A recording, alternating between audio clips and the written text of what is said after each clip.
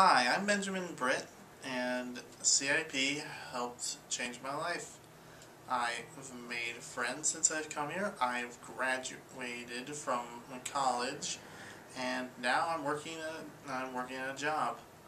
Uh, CIP just helped just helped me get places, and I'm hoping to go far. Thank you.